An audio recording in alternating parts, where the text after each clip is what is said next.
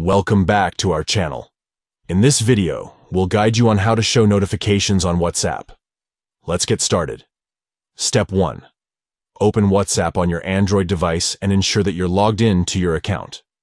Step 2. Tap on the three dots icon located at the top right of the page. This will open a drop-down menu. Step 3. From the drop-down menu, tap on Settings. This will take you to the Settings page. Step 4. Within the Settings page, tap on Account. Step 5. Next, tap on Security Notification. Step 6. Finally, turn on the option to show security notifications on this device.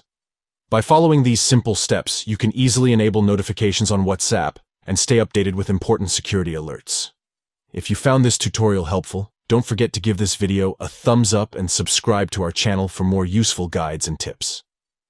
Thanks for watching.